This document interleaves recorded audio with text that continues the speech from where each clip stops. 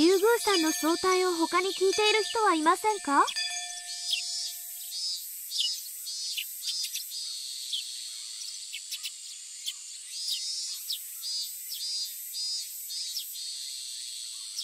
でもレナさん最近はいつも体調悪そうでございましたものね。みー。レナカバンなんかも置きっぱなしだしどうしちゃったんだろう。なんだか嫌な予感がするぜ。え？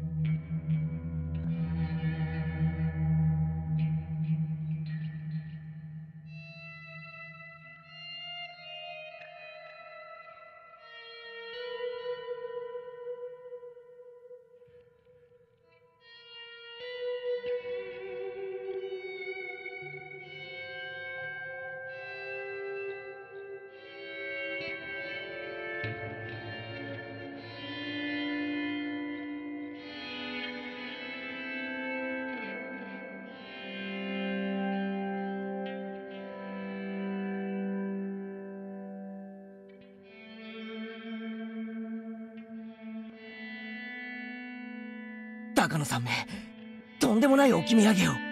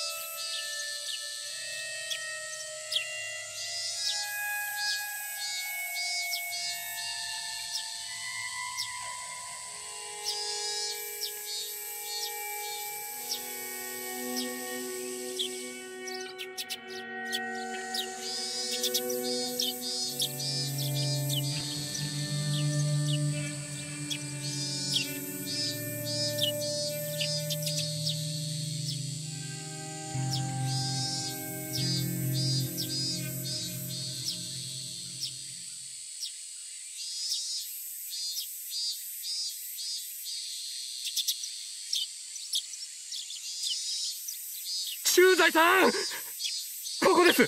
ここです！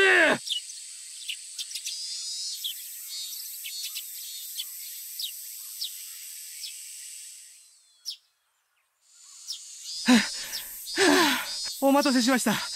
状況をお伺いします。確かに施錠して出て行ったんです。そしたらまず家の扉が開きっぱなしになってまして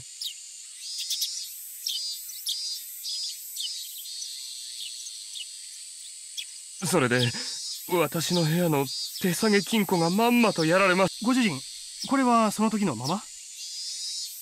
触ってない？ええ。犯人の指紋とかあるだろうと思いまして金庫には触れてません。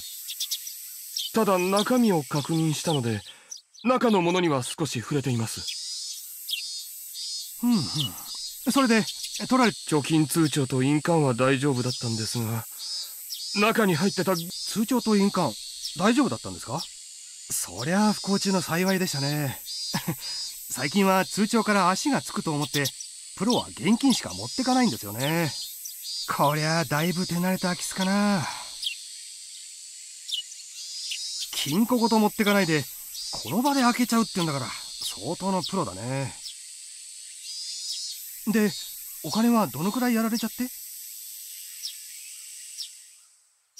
うんちょっと数えてなかったんですが。多分1万円。あああそう。それだけの現金が入ってることを誰かに知らせた？いえ誰にも知らせてはいませんが。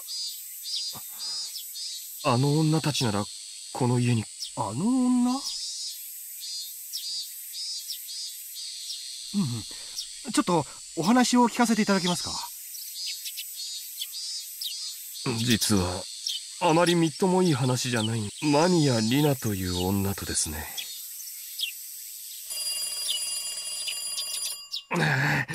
すみません。ちょっと出てすぐ戻ります。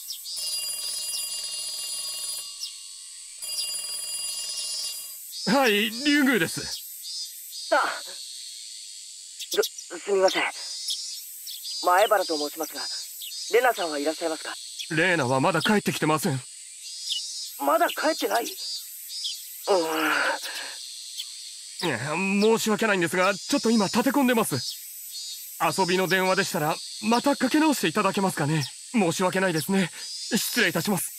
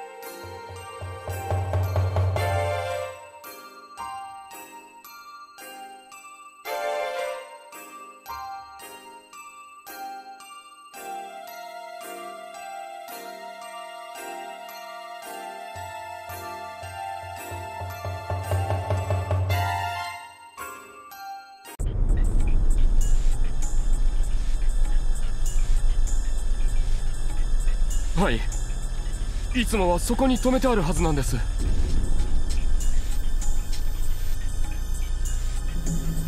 うん。わかりました。もしお嬢さんが帰られましたらご連絡をください。こちらの方でも探してみます。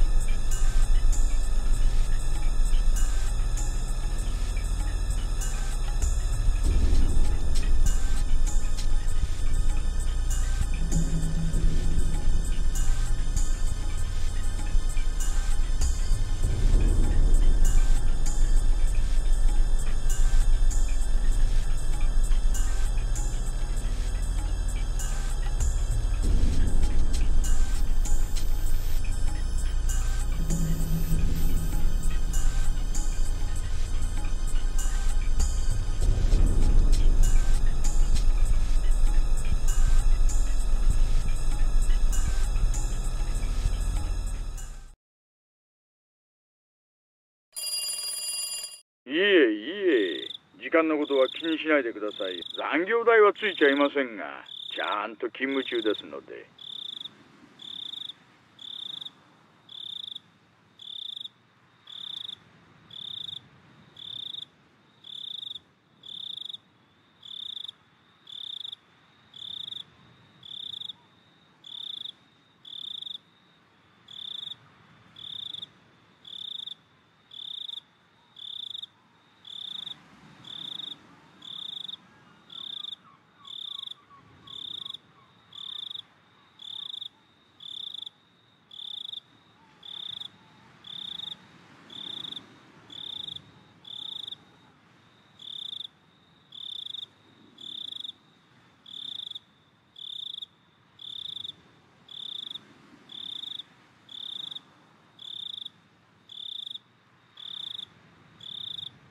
以前も少し話しましたが、やっぱり私、それは本当ですか？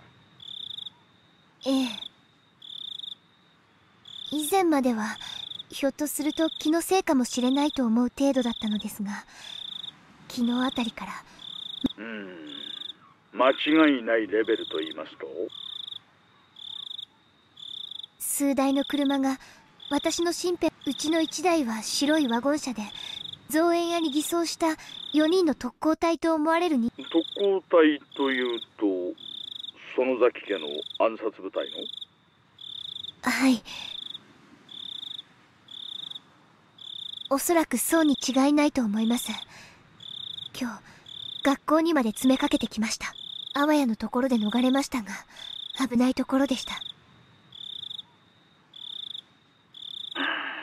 かしなまさか竜宮さんが富武殺しについて嗅ぎ回っているとでも思い込んだんですかね？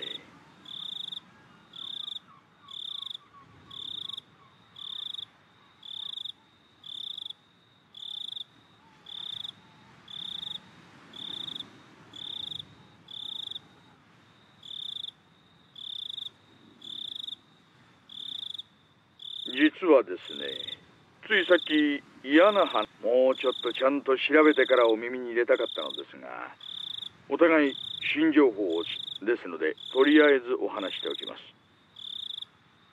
実は沖宮の園崎組で悪い動きがあるらしいんです。その先組で悪い動きですか？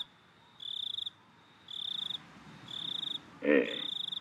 ちょっとショックな話かもしれません実は若い衆に人探しを命じているという話なんです。人探し？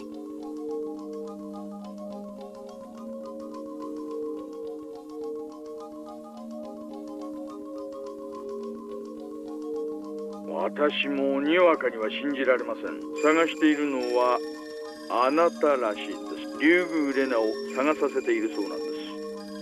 まだ仕入れたばかりの情報なんで何が狙いかはつかめていませんがあなたの名前が出て私が身に危険を感じ始めているという話信じてもらえますか？ねえ。互いの話がきれいにします。竜宮さんこれはどういうことです？お心当たりは？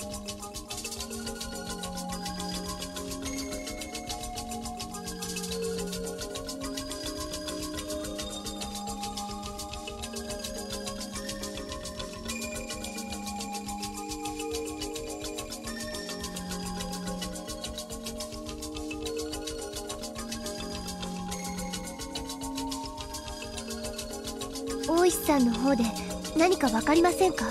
私には全然どうしてだか。私だって分かりません。園崎組があなたという個人を狙って動くなんて考えられない。でも事実なんです。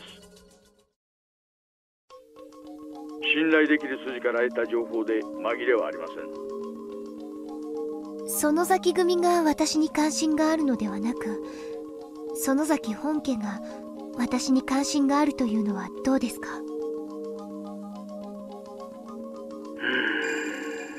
こういった動きはめったに見せるもので例えば組の上納金の持ち逃げがあったとかそういうでもそれは大抵組関係の業界の話で敵である個人が対象となるなんて全私がその貴重な一例目であるのは嬉しいですが前例がないで済まされちゃこっちはたまらないです。まあまあまあまあ竜落ち着いて落ち着いて。今度は竜宮さんが話す番じゃないんですか？何をですか？竜宮さん園崎組がこういう動きを見せることはおいそれ何かの誤解にしたってなかなかあることじゃない。心当たりはありませんか？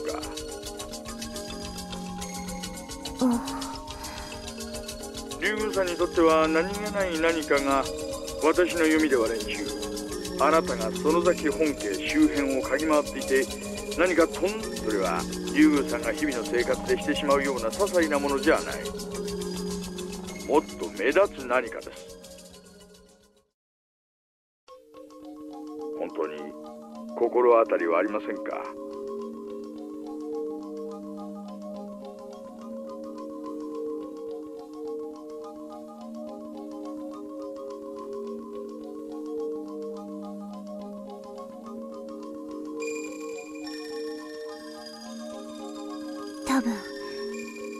私がミオさんのスクラップ帳を。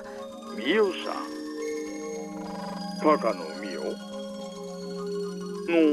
スクラップ帳ですか。そいつは一体？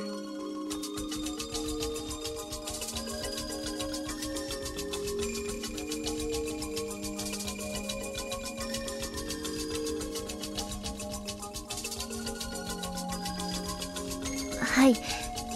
実は私ミオさんが殺される数日前にその時に意気投合して彼女に研究をまとめたスクラップ帳を数冊預け研究をまとめた？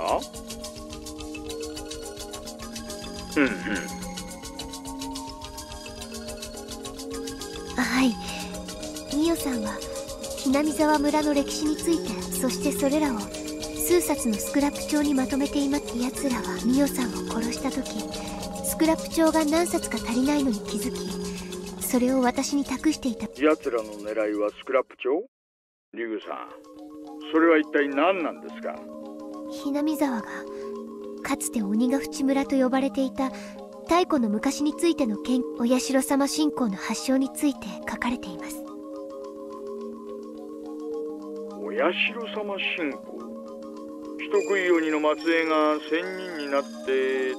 ええミオさんはその研究の中でお社様信仰についてのその研究結果はお社様を神聖であると崇める人たちに。うーんなるほどなるほど。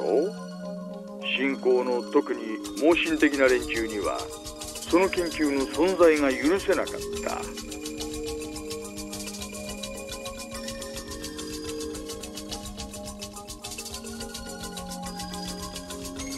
彼らはミオさんをそのミオさんが残した最初のうちは私が持っているのかどうか分かりかねているようだったんですが昨日を境に疑わしきは殺せという方針に変わったように感じています。うんなるほど。そりゃ好ましい状況ではありませんね。あなたの身辺を警戒させましょう。あとそのスクラップ帳を拝見させてください。高野殺しの何かの手がかりになるかもしれない。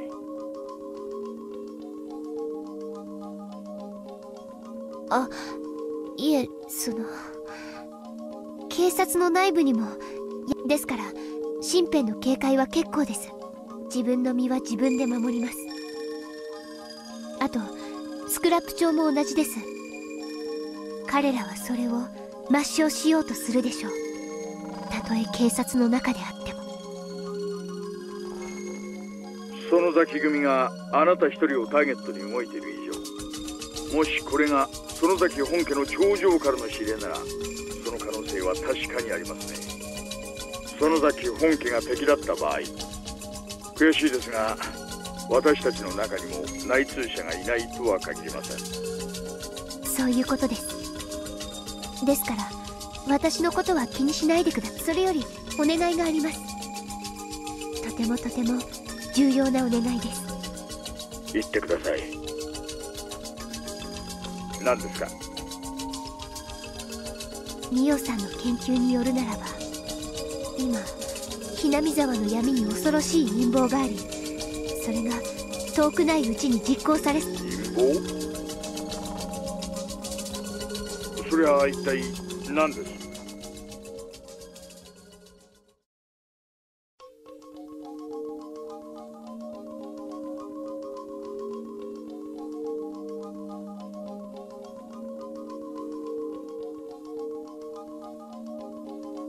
奴らの正体はお社様信仰の信者奴らは明治以降すっかり下火になってしまったお社様信仰の意向を取り戻し太古の鬼ヶ淵村の時代のような。うん。うん。続けてください。メモしてます。ミオさんの研究によるとお社様伝説の根底には大昔のその風土病の猛威がお社様のたたりと恐れられそれを治療できる医者的存在がお社様と崇められ村を支配した。そうだったんですか。なるほど。続けて。その風土病は土着のある特殊な寄生虫ですが長い世代を繰り返すうちに徐々に無害になっていきご存知彼らにとって風土病が無害ではお社様のたたりがなくたたりがなければ救いも必要ない。だからお社様の神聖性が保てないわけです。それを復活させようとしたらうん。それはつまり風土病を蘇らせるということを意味するわけですかなそうです。奴らはお社様伝説をゼロからもう一度やり直しお社そのため古代の強力な風土病を再発させる原子の寄生虫を研究していたと思われます。連続開始事件の正体はこの研究結果を試すものだったんです。そして富武さんに対して古文書に残る氏脇病を再現できた。奴らは5年かけて原子の力を持つ寄生虫を復活させたんです。うーんなんてこった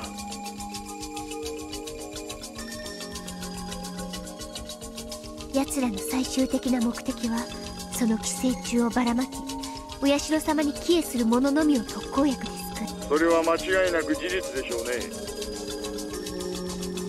このスクラップ帳にはその寄生虫がひなみ沢の人間の医学的根拠に基づいていてその規制を間違いなく裏付け。信じられない。そう。お寮のババアめほっときゃいつでもお迎えが来るだろう。自分一人じゃ三途の川一つ渡らないのか。こいつは無差別テロだぞ。なんてこった。本来の寄生虫はひなみ沢一帯にしか適彼らはその競技の傾向からより広域にわたって寄生虫が関ひなみ沢だけにとどまらない。沖宮を飲み込むか。市内全域に及ぶか。県全体にまで及ぶか。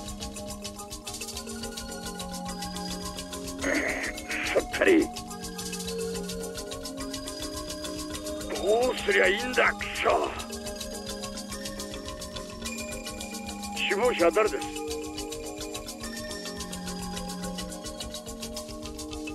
ひなみ沢御三家。おそらくは園崎家の当主でしょう。ただしお寮が主会なのかお寮すらも私には奴らを奴らと呼ぶことしかできない。その規模も全くわからないんその研究がどこで行われているか分かりますか？そこを抑えます。それはこのスクラップ帳にも書く。大石さんの方で見当はつきませんか？そんな寄生虫だのなんだのの研究をしてるってことはかなり改造拳銃ぐらいならガレージを改造して秘密工場にもできるだろうが寄生虫じゃそうはいかないでしょうミオさんは入江診療所に勤め入江診療所が怪しいということはありません。ひなみ沢の規模から見て立派すぎるのが前から不審だ。はあ入江診療所か。うん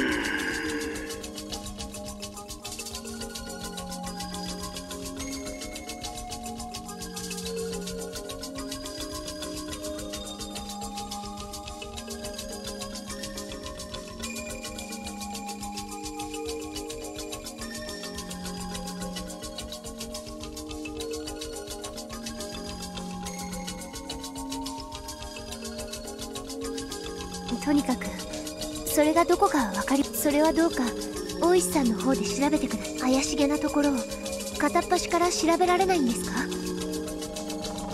ご存知の通り警察は強制捜査には令状ってもんが必要です。そりゃ後付けで取ることもできますがね。間違いなくそこだという決定的な証拠があった時の話です。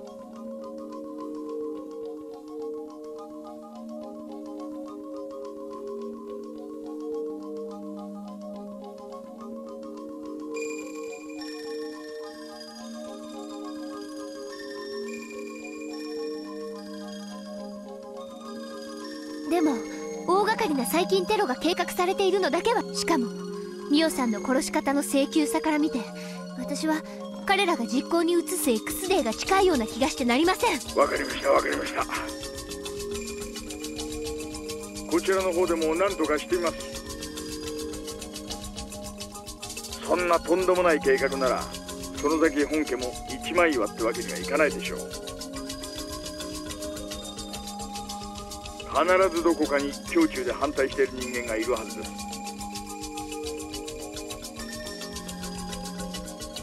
そういう人物と接触できないかこちらでも探してみます。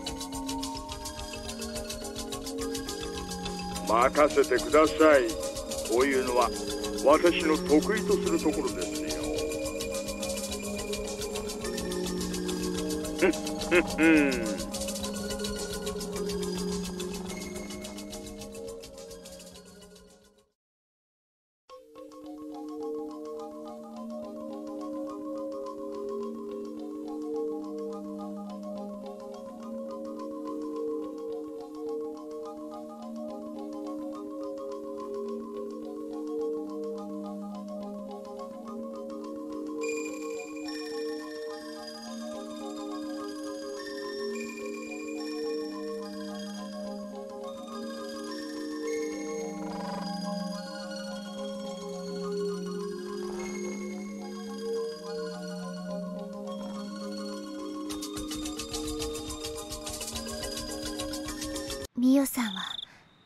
恐ろしい陰謀を暴いた。気の毒な最後でした。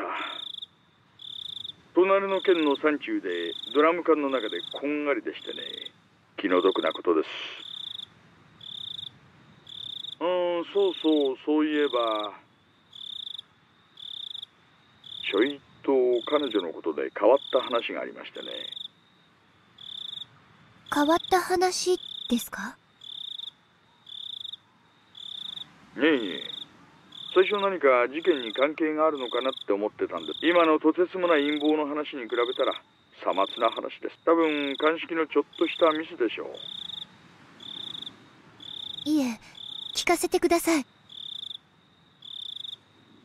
そういう約束じゃなかったですか？いえ隠すつもりなんかありません。ただちょいと夏向きな話だったもんで龍宮さん渡流しの晩を覚えてますか？あの晩の祭りの終わった後です。あなたの仲良し5人組と富武高野の7人で談笑してますよね。談笑というほどではありませんでしたが。ええ少し話をしたような気がします。いえ実は高野の遺体が見つかったのはその晩なわけですが隣の県警さんの鑑識ではしでもそれだと話がおかしい。あの祭りの前の晩には殺されてることになる。殺されてることになる。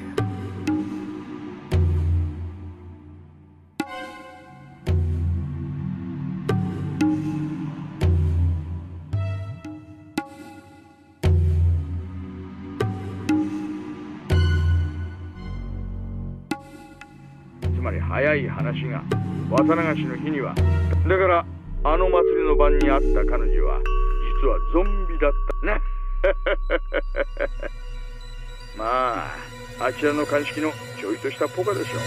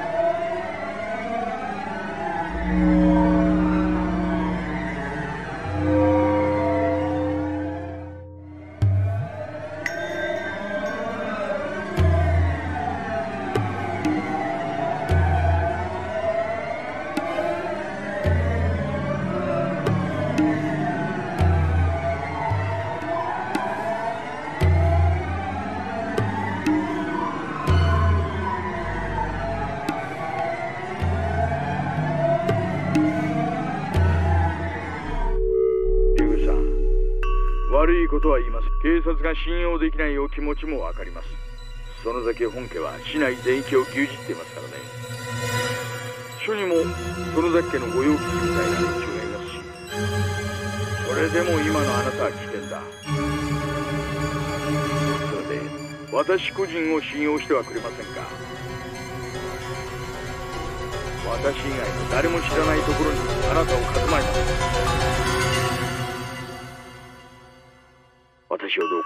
信用してください。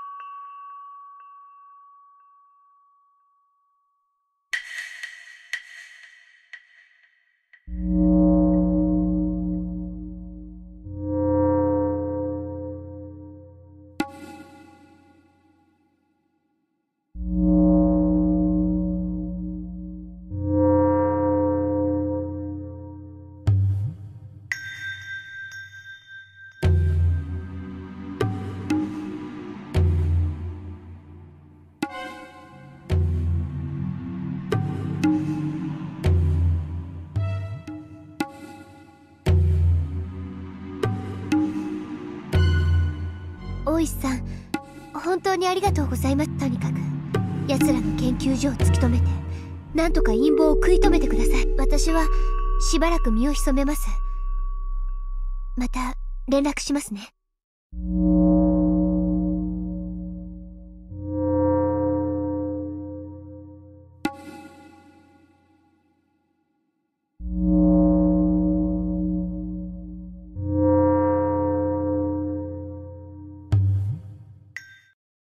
もしもし。もしもし。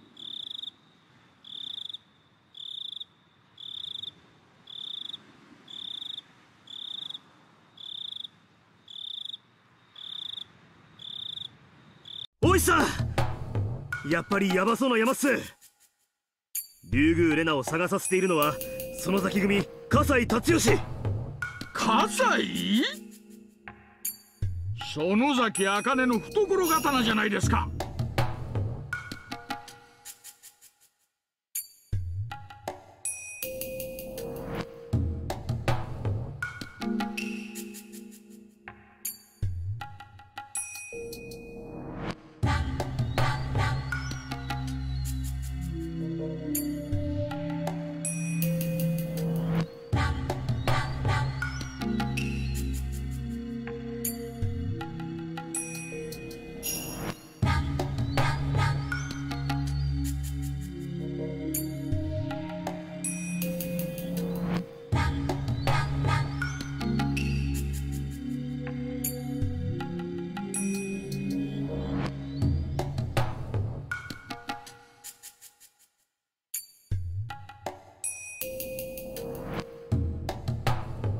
情報や界隈でも相当な騒ぎになってるようです竜宮レナが園崎組にとって相当都合の悪いものを握ってるんじゃないかともっぱらの噂です情報屋の皆さんもさすがに勘がいいですねねこりゃとんでもない山になってきたぞ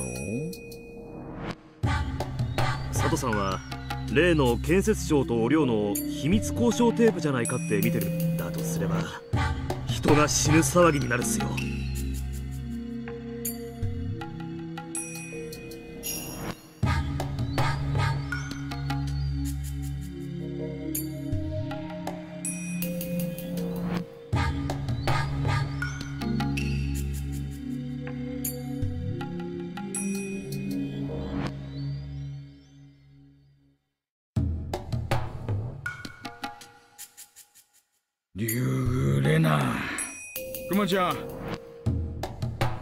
覆面パトを竜宮家に貼り付かせてください。本日付で竜宮レナから暴力団組織に脅迫を受けている訴えがあったため身辺警護ってことにします。ガジオには後で私から話します。いえその実は駐在所からの連絡ではどうも家の金を何十万か盗んで雲隠れしているらしいんです。それから竜宮家の前には園崎組の車が1台張り付いているという連絡が。バッカ野郎！なんでそいつは早く言わないんだ！竜宮レナは相当高度に狙われてるぞ！さっきの電話は家じゃなかったんだ！竜宮レナを至急保護します！車回せ！家の前に張り付いてる野郎を締め上げろ！おい。わけの何か来い。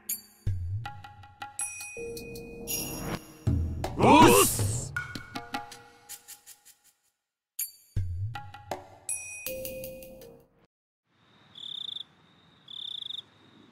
え？レナさんが家にいない？この時間に？はいしばらく家の前で待たせていただきましたが戻られる気配がなかったもの。誰かの家に遊びに行ってるとかじゃない？案外本家でお姉たちと一緒に部活大会だったりしてね。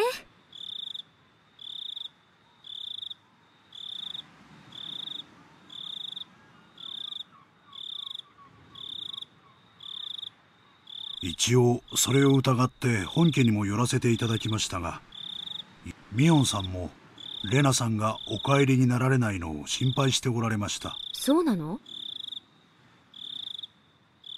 どうしたんだろうね。はって。めったにないことだろうとは思いますがたちの悪いのに絡ま念のためレナさんを見かけていないかどうか聞き込ませていますあの子に限っては大丈夫だと思うけどな。何気に強いしね。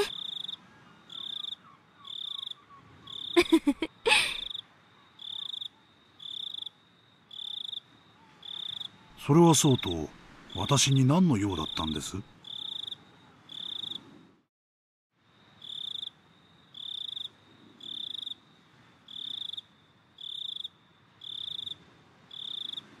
あれ言わなかったっけ？なんかね葛西の落とし物を拾ってるらしいよ。お姉が言うにはレナさんそれを直接返したい。おうおういいね。若い子にモテることで。堪忍してください。しかしご無事だといいのですが。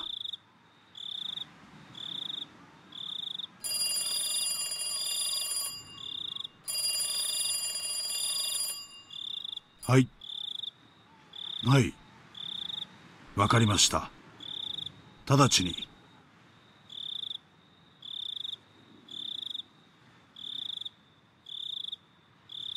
誰？お父さん？はい。レナさんを大至急保護して本家へ護送せよとの園崎本家からの命令です。ばあさんの直令？レナさん何をやらかしたんだか。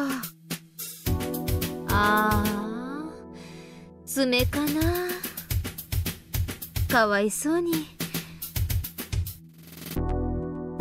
桑原桑原。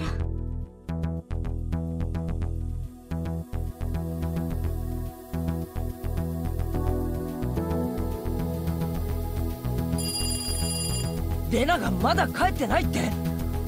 うん実は聞いた話だとレナ自宅を出てどこかに雲隠れ。雲隠れ？どどういうことだ？あとこれはさっき入ってきた情報なんだけど警察が竜宮。ななんだって？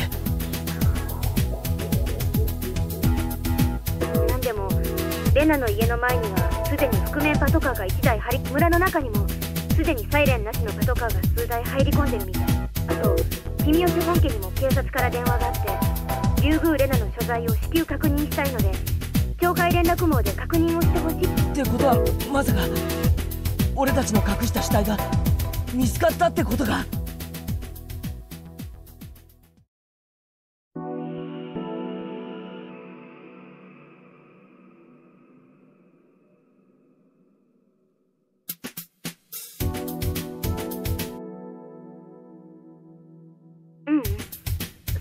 100%ありえない。私が保証するよ。おうよく100%なんて言い切れるな。うん。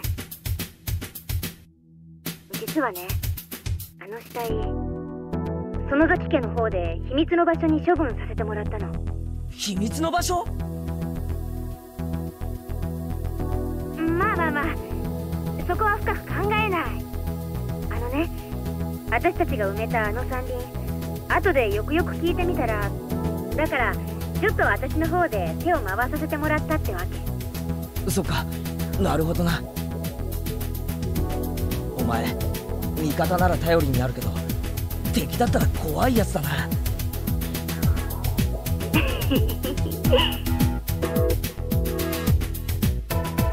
おじさんを誰だと思ってるんだか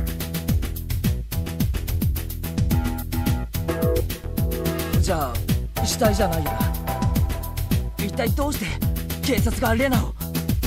わからない。北条哲平と間宮里奈が竜宮家を食い物にしようとしてたって話は裏の界隈ではちょっとそっちの角度からレナが浮上したのかもしれない。とにかく容疑者ってわけじゃないみたい。でも重要参考人とかって扱いではあるだろうね。どっちだって同じだぜ。くそ。せっかくレナは平穏な生活を取り戻したんだぞ。ここで台無しになんかしてたまるか。ミオ俺たちでなんとかレナをかばおう。当然だよ。とにかく警察よりも先にレナの身柄を確保するようさっき沖宮の家に伝えた本家でならレナを120%警察から守れる。レナをかくまうだけじゃ解決にはならないんじゃないのか？レナの嫌疑を何とかしないと。そこは保護してから考えるよ。アリバイを証明する証人なんかいくらでも作れる。し本家に出入りしてる最高の弁護士もいる仲間を絶対に見捨てない。ああそうさ。絶対にレナを守ってやろうな。くそ。俺ができるのはミオンに頼るだけかよ。情けないぜ。まあまあ。蛇の道は蛇ってことだよおじさんの方で手を尽くすから。ここは任せな。あと村全体で警察の目をごまかすためアリバイを作る。レナがゴグラの辺りで目撃されたことにしよう。警察の目が広域に散ればそれだけ薄くなるはずだよ。ななるほどな。そいつはうまいぜ。こんなのはダム戦争の頃はお手の物だったよ。絶対にレナをかばいきってみせる。あとケイちゃん。レナはケイちゃんのことは特に信頼してた。だからレナの方からケイちゃんのところに現れる可能性がある。その時にはすぐ保護してあげてほしい。その時は私にもすぐ連絡してね。お分かったぜ。レナは強い子だからね。こんな苦難も乗り越えてみせるよ。そうだな。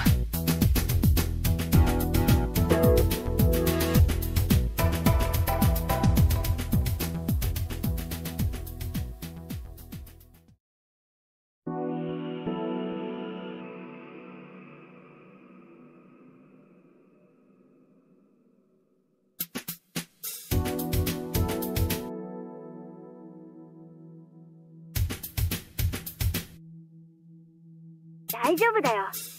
私とレナだって腹を割って話せばすぐに誤解だって分かってくれるよ。ケイちゃんだって私と話して誤解が解けたんでしょ？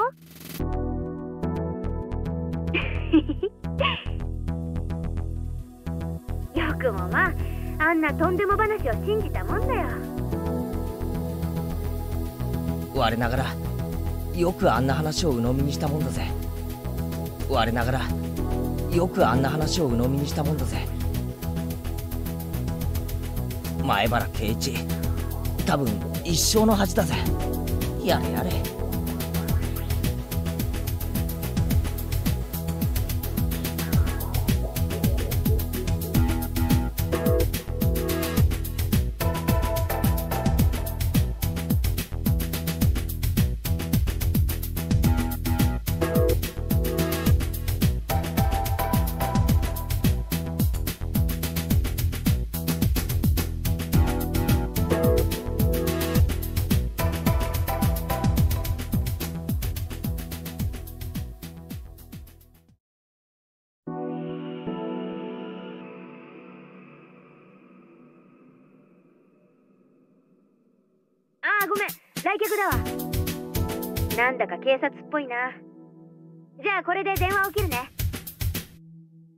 わかった。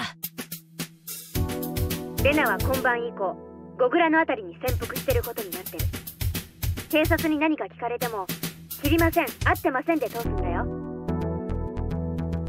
お了解